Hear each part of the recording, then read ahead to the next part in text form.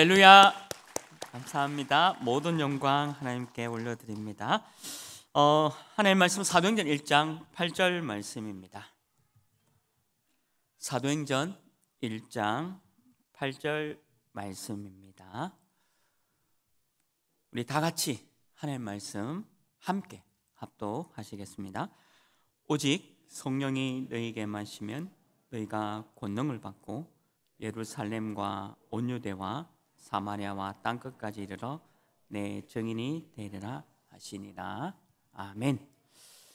아, 오늘 우리 찬양대 찬양 드린 이 곡이 오늘 제가 준비한 어, 메시지 말씀입니다. 어, 더 들을 것도 없는데 그래도 준비한 거니까 함께 말씀을 좀 나누려고 합니다.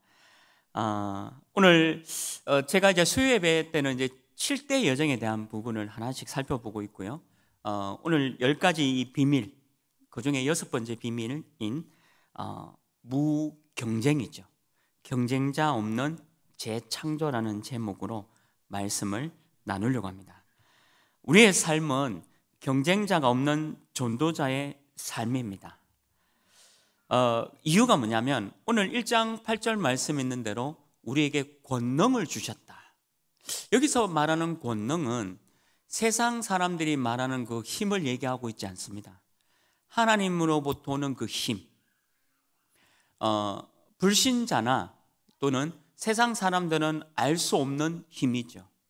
위에서부터 오는 그 힘이 내게 있다는 겁니다. 그러면 모든 것을 시공간을 초월하는 축복과 보좌의 축복과 그리고 하나님 위에서 주시는 그 힘을 가지고 지금 나의 모든 문제를 뛰어 넘을 수 있기 때문에 말 그대로 무경쟁이죠.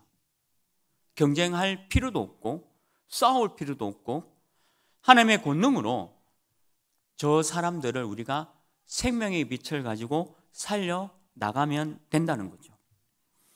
어, 경쟁을 한다는 것은 같은 수준입니다. 집에도 왜 형제끼리 또 자매끼리 싸우는 거 보면 똑같잖아요. 첫째나 둘째나. 왜냐? 수준이 같기 때문에.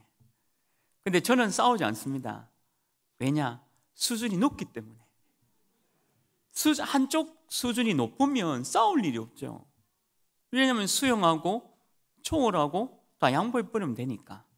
하늘의 복을 하나님의 그 권능을 받고 있으면 되니까요.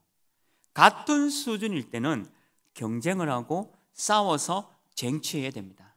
그러니까 불신자들, 하나님을 믿지 않는 자들은 그렇게 해서 살아가야 되겠죠. 근데 우리는 아닙니다. 우리는 생명의 빛을 가진 사람이고 세상의 빛을 비출 전도자죠. 같은 수준이 아니에요. 혹시 사업을 성공하고 싶고 또 내 직장에서 성공하고 싶은 사람들은 아마 세 가지가 있으면 될 겁니다. 어, 그 첫 번째가 뭐냐면 돈이 아주 많으면 사업 성공합니다. 어, 돈이 이제 많은 돈을 가지고 여러 가지 사업을 하다 보면 어려움도 있겠지만 어느 시간표가 되면 또 어떤 때가 되면 어, 본인이 하고 있는 그 사업이 또 성공하는 때가 있죠. 그래서 손해 본 부분을 만회하는 그런 때도 있습니다. 돈이 아주 많으면 사업도 성공합니다. 그리고 두 번째는요. 아마 대구에서 첫 번째로 가는 기술을 갖고 있다. 또 대한민국에서 이 기술은 나만 갖고 있다. 그리고 전 세계를 어, 봐서 이 기술은 내가 가지고 있다라고 한다면 그 사람은 반드시 사업 성공하게 되겠습니다. 또 그 업에서 성공하고 또 반드시 성취하겠죠. 그런데 첫 번째나 두 번째나 없는 나 같은 사람은 그럼 어떻게 성공하느냐? 그게 세 번째 있습니다. 오늘 우리 찬양 드린 것처럼 시 공간을 초월하는 기도의 능력을 알면 성공합니다. 어떻게 사업을 성공하고 내 업을 성공하느냐? 시 공간을 초월하는 이 기도의 능력을 알고 있는 사람은 반드시 성공합니다. 근데 이 세 번째가 많이 어렵다는 거죠. 첫 번째와 두 번째는 쉽게 가질 수도 있고 또 이것을 가지고 있는 사람들이 많아요. 그런데 이 세 번째 기준을 가지고 있는 사람이 극히 드물고 심지어는 교회를 다니고 하나님을 믿는다라고 하는 사람도 이 기도의 능력을 안 믿고 있다는 것이 안타깝죠. 그래서 사업이나 또 자기의 업에 성공하지 못하는 것을 볼 수 있습니다. 경쟁에서 쟁취하는 게 아닌데 경쟁에서 쟁취하는 게 아니거든요. 그들과 싸워서 이기는 게 아니라 그들을 우리가 살리러 가야 되는 무경쟁의 단계 이게 바로 이 기도의 능력을 아는 사람은 이걸 할 수 있다는 거죠. 우리는 7대 여정을 살아가고 있습니다. 이 7대 여정은 성경에 나오는 우리 전도자의 여정이고 또 저와 여러분이 지금 걸어가고 있는 여정이죠. 우리 열 가지 비밀을 한마디로 말하면 뭡니까? 아무도 나를 도와주지 않는다는 겁니다. 이번에 세계 선교 대회 주제도 그렇잖아요. 나 혼자 가야 돼요. 누가 도와주냐? 도와주지 않습니다. 우리는 생명의 빛을 가진 하나님의 자녀로 전무후무한 응답을 가진 하나님의 자녀입니다. 전에도 없었고 후에도 없는 이 기도의 능력을 가지고 있는 사람은 이 능력을 갖고 있는 거죠. 그래서 나와 나의 것, 나의 현장을 경쟁 없이 이긴다는 거예요. 반대로 그들을 살려 나간다는 겁니다. 17살 요셉이 있습니다. 이스라엘이라는 좁은 땅에서 목축업을 했어요. 양을 기르고 소를 기르고 염소를 길렀어요. 근데 어느 날 노예라는 신분으로 이집트에 갔습니다. 이집트가 어떤 나라입니까? 나일강 문화를 통해서 군사력은 막강했습니다. 지금으로 보면 스텔스, 스텔스 전투기 같은 전차 부대가 있었던 나라가 이집트입니다. 요셉이 그걸 목격하고 얼마나 놀랐겠습니까? 그리고 이집트의 문화는요, 네피림 문화를 넘어선 초 문명 문화를 갖고 있는 나라가 이집트였습니다. 이집트가 세운 피라미드와 스핑크스는 2023년도에도 그 비밀을 밝히지 못할 만큼 미스테리로 남아있는 초인류 문화 국가였어요. 불가능하죠. 요셉은 17살입니다. 그냥 목축하다가 눈으로 목격했어요. 전투기가 날아가고 지금 AI가 있고 그리고 굉장한 초고 문명 가운데 자기가 있다는 사실을 얼마나 충격으로 받아들였겠나 이거죠. 근데 13년이 지나고 난 뒤에 어떻게 되었습니까? 요셉은 이집트 나라의 총리가 됐습니다. 경쟁하지 않았습니다.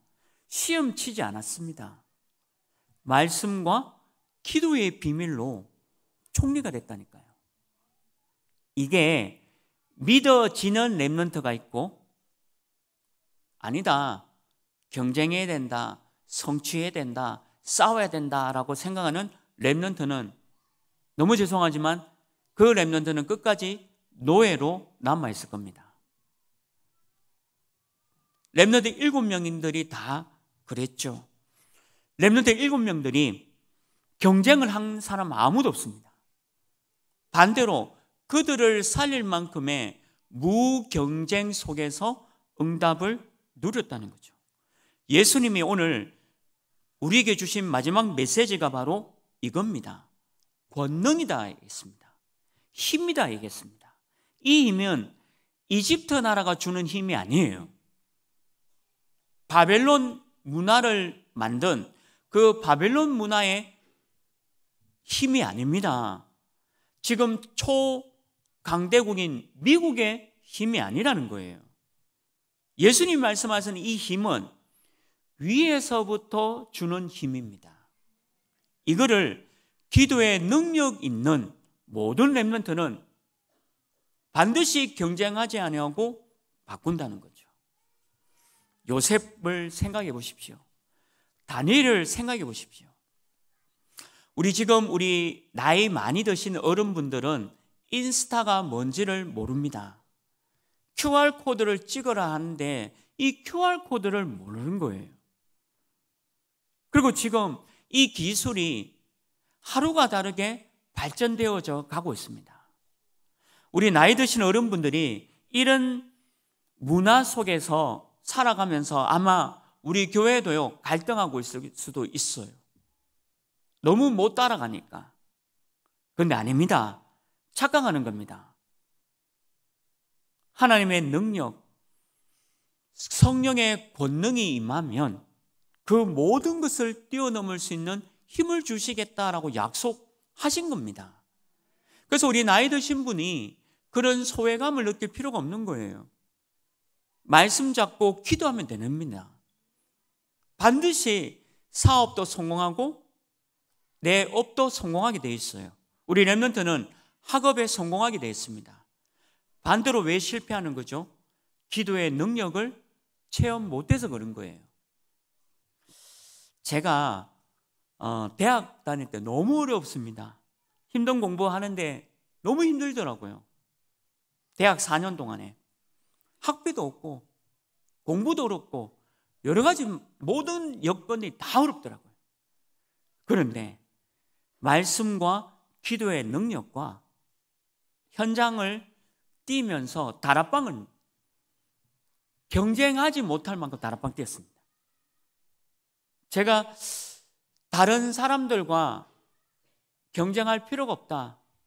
무경쟁으로 간다. 가장 많이 현장에 들어간다.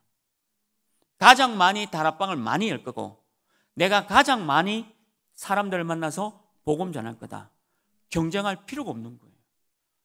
그래서 하나님께서 많은 힘을 주셔서 하나님의 힘이에요.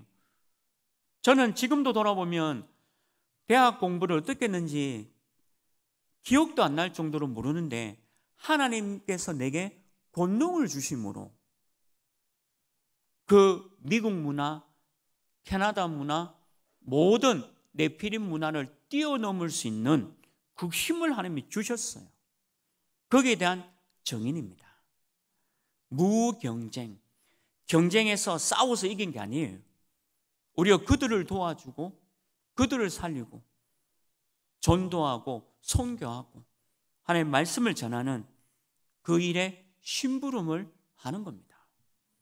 우리 랩런트들이 요셉이죠. 아마 이집트 문화 앞에 바벨론 문화 앞에 직접 목격을 했기 때문에 힘들 수 있어요. 굉장한 어떤 정치, 경제, 네피림 문화 또 여러 가지 상황 속에 당황할 수 있을 겁니다. 신기하죠? 그런데 그들과 경쟁해서 이기는 게 아니라 말씀 붙잡고 기도 속에 기도의 능력을 가지고 있는 랩런트가 어느 날 하나님께서 어떤 사건을 통해서 총리로 만들어 버린다는 사실입니다. 그래서 우리는 경쟁하지 않습니다. 싸우지 않습니다. 우리는 하나님의 비밀, 무경쟁이에요. 이게 믿어져야 돼요. 아무리 어렵더라도 이게 믿어져야 돼요. 지금 어, 육신적으로 아프고 정신적으로 아픈 사람도 이게 믿어지셔야 돼요. 하나님 내게 권능을 주시겠다 약속했습니다. 예수님이 오늘 분명히 성령이 너에게 임하시면이라고 말씀 주셨잖아요. 성령의 권능, 성령의 힘을 주시겠다 약속한 겁니다. 이 무경쟁을 누리시길 주님의 이름으로 축원합니다. 그럼 우리가 이걸 어떻게 누릴 수 있느냐? 여러분들 생각이 전부입니다. 내가 지금 생각하고 있는 게 응답이에요. 그리고 나의 영적 상태가 바로 응답입니다. 현장에 가보니까 외롭다라는 사람이 많아요. 너무 괴롭다라는 사람들 많아요. 너무 힘이 들어서 죽을 지경이다라는 사람들이 많아요. 이유가 뭡니까? 기도의 능력을 몰라서 그런 거예요. 기도의 비밀을 몰라서 그런 겁니다. 기도 비밀이라는 사람이 외롭지 않아요. 괴롭지 않습니다. 죽을 지경 있어도 죽지 않습니다. 랩런트 7명이 그랬고 히브리서 11장의 사람이 그랬고 초대교회 성도님들이 그랬잖아요. 기도의 비밀을 갖고 경쟁하지 아니하고 싸우지 아니하고 그들을 살려 나갔다는 것을 볼 수가 있는 거죠. 저와 여러분이 이 응답을 가지고 있어야 합니다. 그래서 우리가 가는 모든 현장을 살리는 자로 생명의 빛을 가지고 어두움에 있는 사람들을 살리는 사람으로 가는 겁니다. 절대 경쟁해서는 안 됩니다. 싸워서는 안 됩니다. 우리가 어둠과 싸울 필요가 뭐 있습니까? 빛이 들어가면 어둠은 그냥 물러갑니다. 아무리 빙하와 같은 얼음 덩어리가 있다 할지라도 태양빛이 가버리면 그냥 녹아버립니다. 그 빙하를 도구를 가지고 깨려고 하면 그 언제 다 깹니까? 태양의 강력한 빛이 그냥 빙하에 한 번만 쏘이기만 하도 그 빙하는 그냥 녹아버려요. 물 돼버립니다. 심지어는 기체가 되고 없어져 버려요. 그게 그리스도의 능력이에요. 그게 믿는 게 더 빨라요. 내가 하는 것보다 그리스도의 능력을 믿는 게 더 빠르다니까요. 저는 그걸 너무 많이 체험했어요. 그래서 우리는 경쟁하지 않습니다. 하나님의 권능이 있으면 돼요. 내 전문성도 내 힘도 성령이 임해야 빛을 발해요. 그냥 내 힘 가지고 이기려고 하면 집니다. 우리가 어떻게 미국 문화를 이기겠습니까? 우리가 어떻게 이집트 문화를 이기겠습니까? 우리가 어떻게 그 바벨론 문화를 이기겠습니까? 바벨론은요, 그 당시에 3미터가 넘는 어마어마한 건축 문화를 갖고 있는 나라였어요.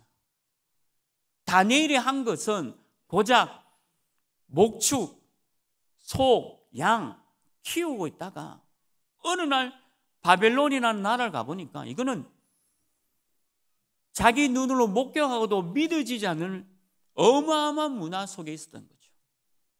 지금 우리 랩런들이 그런 현실 속에 있어요. 내 피리 문화는 크고요. 우리 랩런트들 친구들은 열심히 경쟁하려고 하고 싸워서 이기려고 하는 거죠. 그래서 친구들을 괴롭히면서 왕따시키고 학력 폭력을 가해서 거기서 만족을 얻으려고 합니다. 거기서 기쁨을 얻으려고 하는 거죠. 왜요?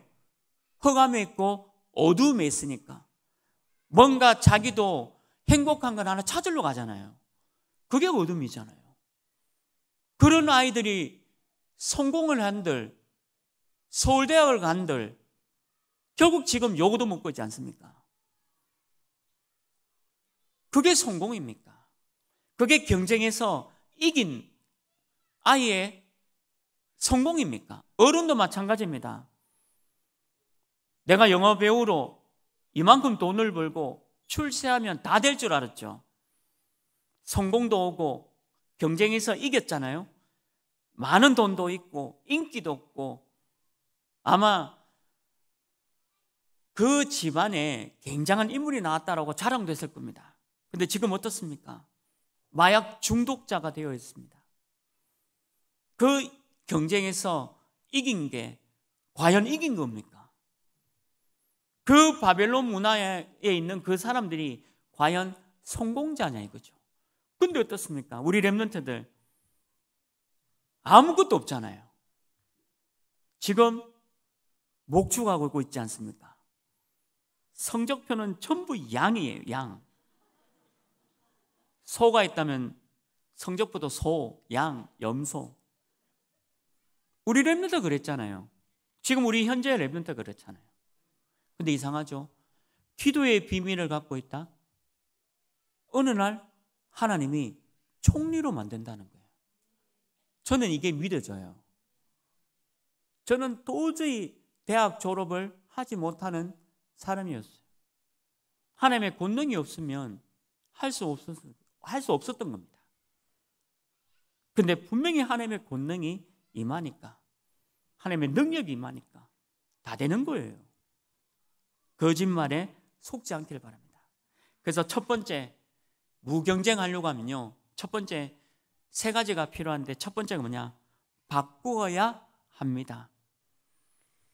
저와 여러분이 가지고 있는 것 다 버리고 새 것으로 바꿔야 합니다. 안 된다라는 불신앙 바꿔야 합니다. 멋있습니까? 이집트가 멋있습니까? 바벨론이 멋있습니까? 부럽습니까? 저렇게 어마어마한 미스테리한 어떤 굉장한 문명과 문화를 가지고 있는 게 부럽습니까? 놀랍습니까? 그러니까 내가 낙담하고 불신하는 거예요. 원망하는 겁니다. 내 자신을 보면서 내가 원망이 돼요. 나는 겨우 양을 치고 있고 염소 기르고 소를 이게 치는 그냥 목동일 뿐인데 내가 무슨 하나님 세계보고만 합니까? 착각하는 겁니다. 그게 착각이라는 거예요. 바꿔야 합니다. 안 되는 게 어딨습니까? 하나님이 우리 랩런트를 세계 보고만을 하기 위해서 불렀다는 거예요. 그게 능력이에요. 시간이 지나면 그걸 알게 되겠다는 거죠. 마태복음 28장 16절 20절에 예수님이 거짓말했습니까?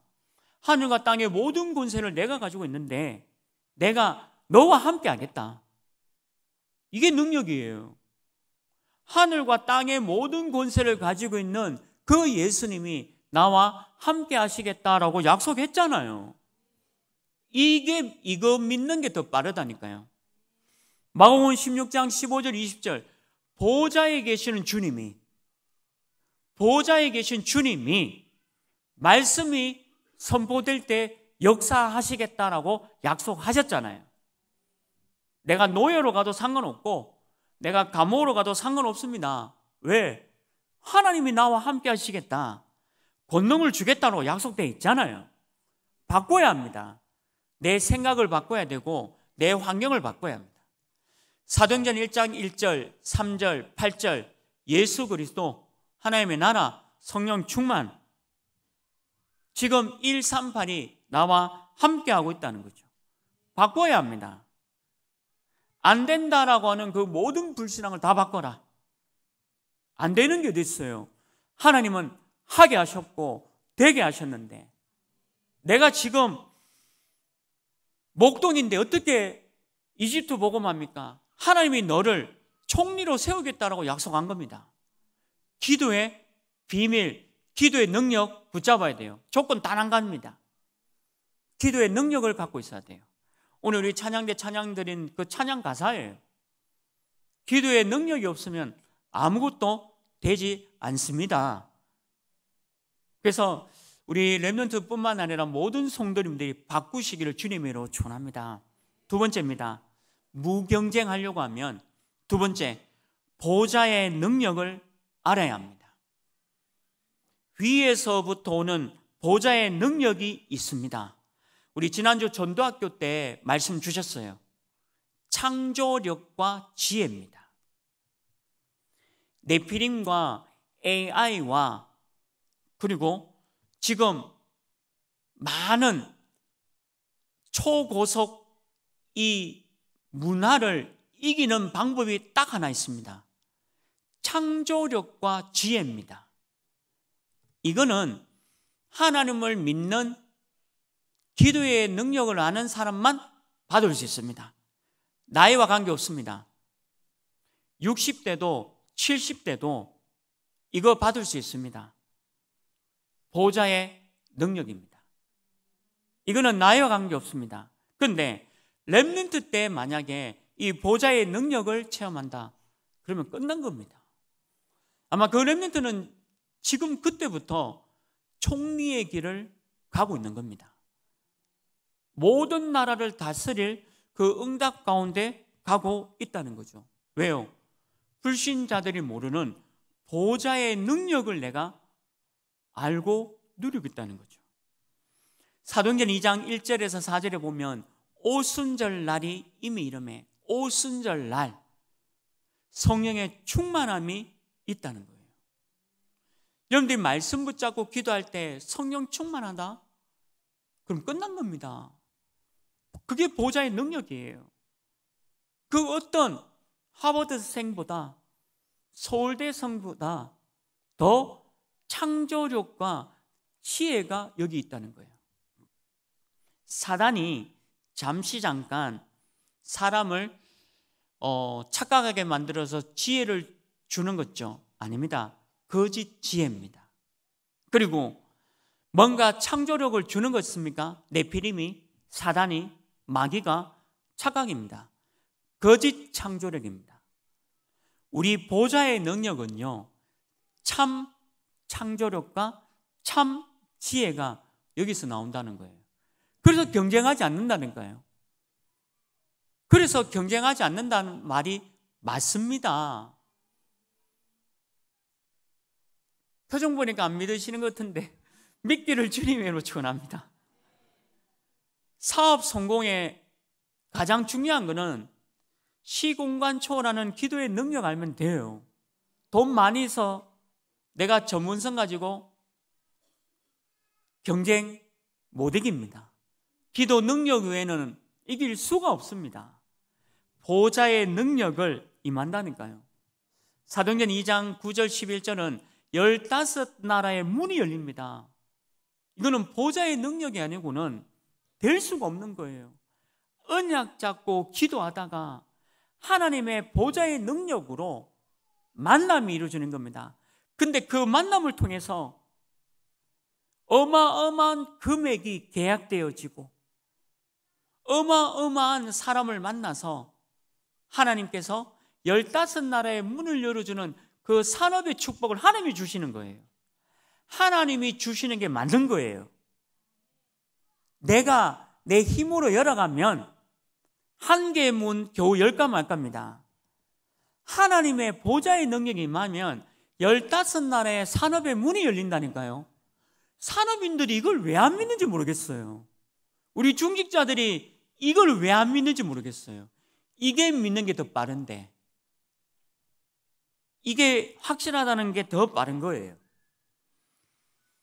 하나님이 어느 정도냐면 사도행전 2장 17절 18절에 보면요. 장래 일을 장래의 일을 보고 환상을 보고 꿈을 꾼다라고 기록되어 있습니다. 비전을 가진다라고 기록되어 있습니다. 이게 보좌의 능력이에요. 장래가 어떻게 되어져가 환상을 통해서 미래에 어떤 일이 일어날 거냐, 꿈이 어떻게 이루어질 거냐, 그거를 보여준다고 약속되어 있습니다. 이게 보좌의 능력이에요. 우리 후대가 이 능력을 갖고 있으면 끝난 겁니다. 믿어지십니까? 이 보좌의 능력 믿어지십니까? 저는 경쟁할 거 없다. 공부는 최선을 다하는 거다. 그러나 하나님의 능력을 하는 거다. 그리고 전도만큼은 다른 타의 추정을 불허할 만큼, 추정을 불허할 만큼 내가 전도하는다. 무경쟁이다. 지금도 그렇습니다. 우리 모든 교육자분들이 너무 멋있지만 저는 우리 모든 부교육자보다 더 현장 갈 거다. 더 전도할 거다. 무경쟁으로 갈 거다. 아마 평생 이 마음을 가지고 가는 겁니다. 우리 모든 교육자들이 그런 마음입니다. 그런데 경쟁하지 않는다는 거예요.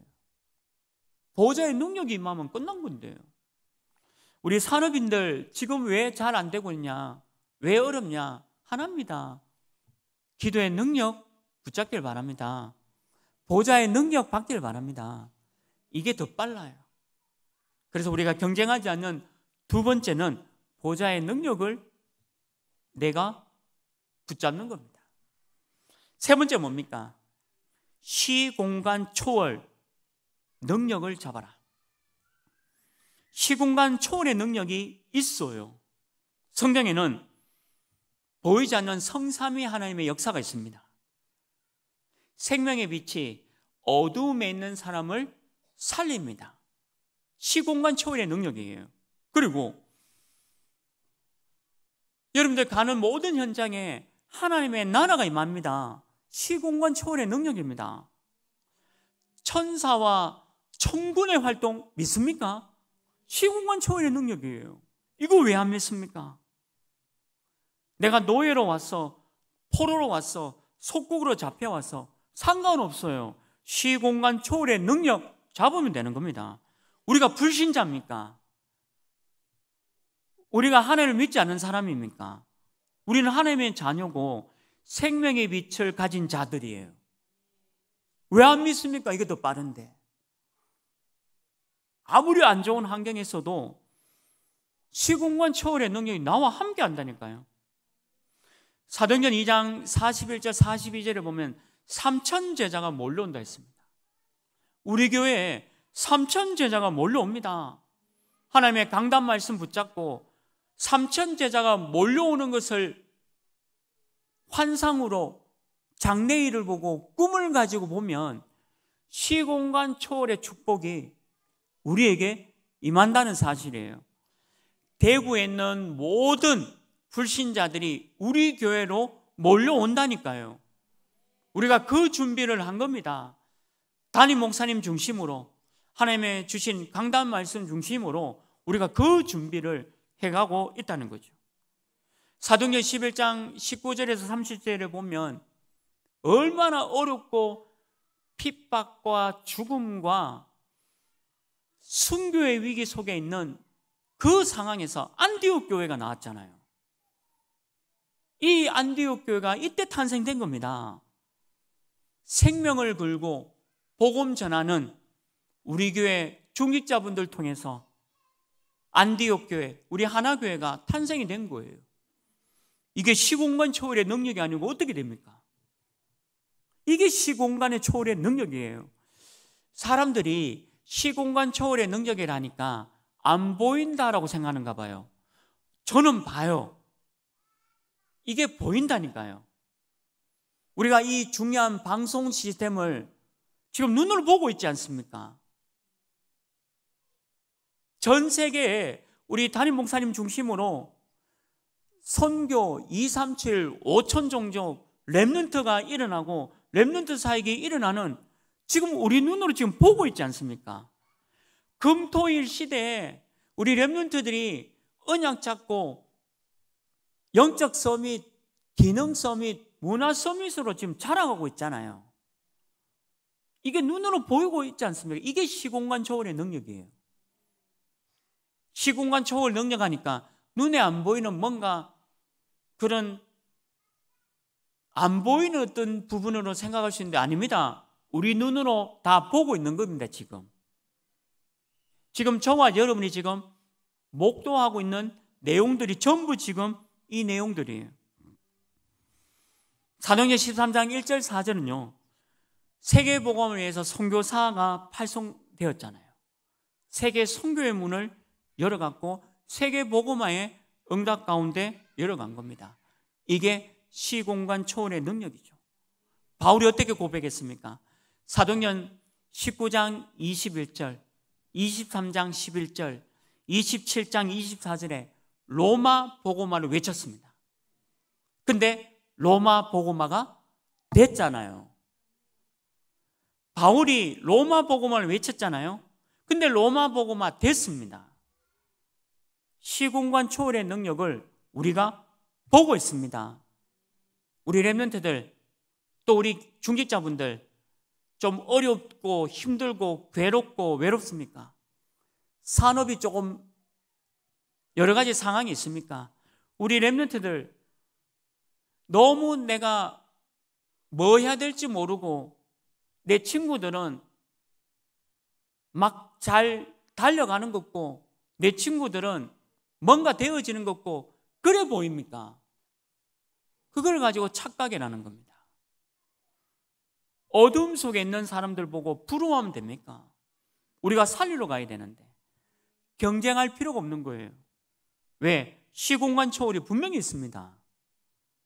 믿는 자에게만 오는 축복입니다. 저와 여러분이 이 경쟁하지 않는 비밀을 갖고 승리하시길 바랍니다. 말씀 맺습니다. 우리는 미리 응답 옵니다. 문제가 왔을 때 기다리면 되는 거예요. 제가 너무 힘들 때가 많았습니다. 제 자신의 이 학업도 너무 힘들었고요. 또 다락방 가는 것도 너무 핍박 가운데 힘들 때도 있고요. 또 여러 가지 상황 속에 어려울 때도 있었습니다. 성령이 너에게 마시면 너희가 권능을 받고 여기 말하는 권능은 사람이 주는 권능이 아니에요. 사람이 주는 어떤 힘이 아니에요. 하나님으로부터 오는 힘이에요.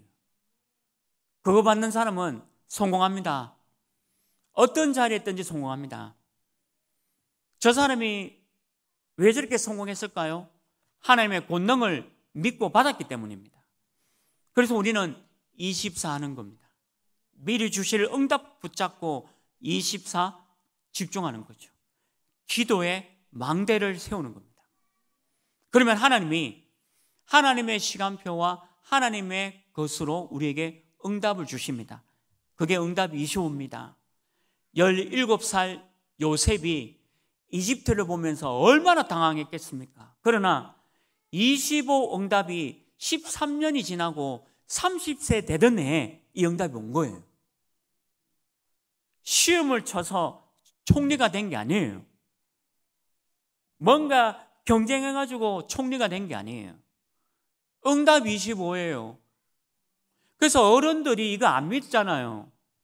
안 믿기 때문에 우리 랩런트한테 경쟁해라, 싸워라, 이 말 하잖아요.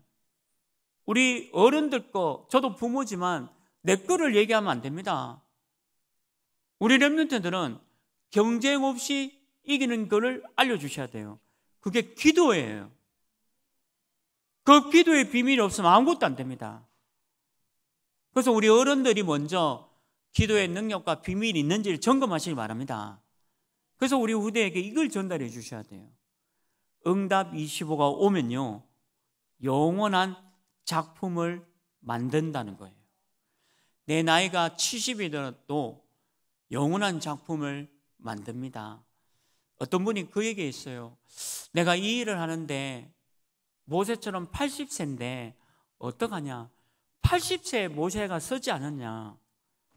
모세가 80세 동안에 24와 25 응답을 누렸기 때문에 이제는 80 이후의 인생은 작품을 만드는 인생이었지 않냐. 그게 영혼이었습니다. 지금도 모세를 생각하면 영원한 작품이 생각나지 않습니까?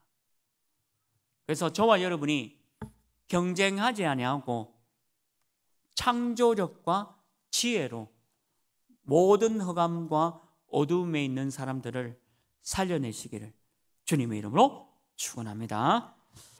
우리 인생의 모든 문제 해결하신 주 예수 그리스도의 은혜와 하나님의 긍휼하심과 사랑하심이 성령 하나님의 내주하시고 인도하시고 역사하심이 생명의 빛을 가지고 어둠에 있는 사람들을 살려내며 경쟁하지 않고 싸우지 않고 그들을 앞서서 지도하고 살려나갈 우리 랩런트와 모든 성도님들 머리 위에 지금부터 영원토록 항상 함께 있을지어다.